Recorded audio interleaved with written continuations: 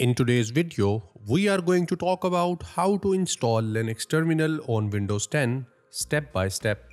Myself Mohammad Zubair and this channel is all about showing you how to become a highly paid IT pro really fast. So without any further ado, let's get started.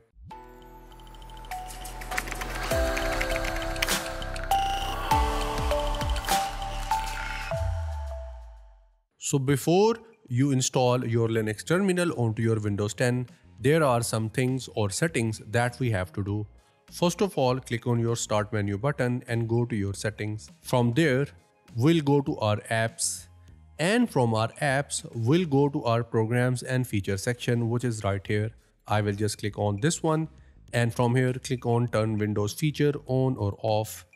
From here, we need to enable some of the options. First one is virtual machine platform and the second one is Windows subsystem for Linux. Enable both of them and after that click on OK. In your case, as you are doing it for the first time, your system will require you to restart your system. So make sure to restart your system and I have already done that. That is why it has not shown me that message. After you are done restarting your system, now it's time to open your Microsoft Store. I will just search for store in here. Here it is. I will just open this one. So this is our Microsoft Store. From here, I will download my Ubuntu. I will just hit enter. I have already searched for that. And here I have my Ubuntu and down here we have different other versions available as well. Like we have Ubuntu 18.04, Ubuntu 20.04 and Ubuntu 22.04. I have already downloaded Ubuntu 22.04 that is why here it says open.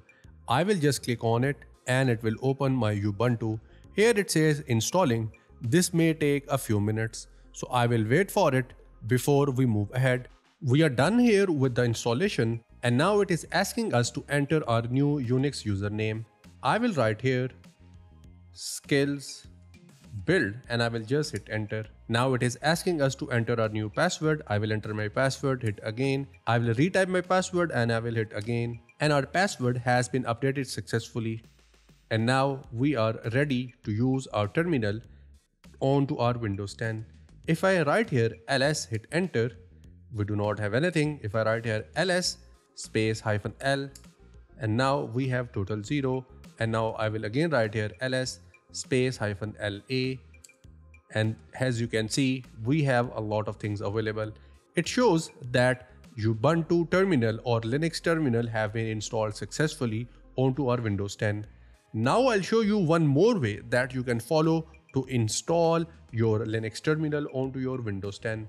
Let me just close this window and now I will just click on my start menu button and I'll go to my settings. From here, I'll go to update and security and then I'll go to my for developer. Just click on this option and I will enable my developer mode. It will give me a warning so I will go with the yes option. So we are done with this one. Now I will search for bash into my system.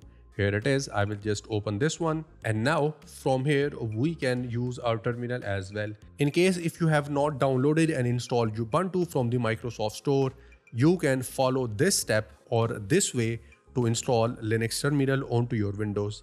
Again, from here, it will ask you to enter your first username and then it will ask you to enter your password and then again it will ask you to retype your password.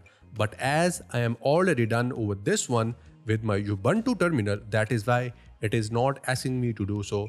So if I write here ls space hyphen la, hit enter, as you can see, I have all those things, all those files, repositories that are available into my system at the moment. So this is how you have two ways that you can follow to download and install Linux terminal onto your Windows 10. Now I will just close this one and in case if you want to reopen your Linux terminal, press Windows icon and I will just write here Ubuntu. Here you can see here it says app. I will just click on this one and here we have Linux terminal up and running. And that brings us to the end of today's video. Please leave a like, subscribe and press the bell icon I will get back to you in the next video. Till then, take care.